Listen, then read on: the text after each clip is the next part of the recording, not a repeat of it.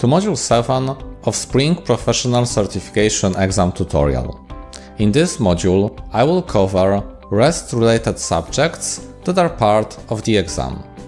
We will discuss RESTful architecture foundations, Spring Framework support for REST, some testing-related subjects, and much more. My name is Dominic. I am a software developer with 10 years of commercial experience. In this series of tutorials, I'm going through all exam topics published in Spring Professional Certification Exam Study Guide. For each exam topic, I am providing deep explanation followed by the good code example. If you want to pass Spring Professional Certification exam, then this course is right for you. Feel free to go through the course description, course preview, and enroll whenever you are ready.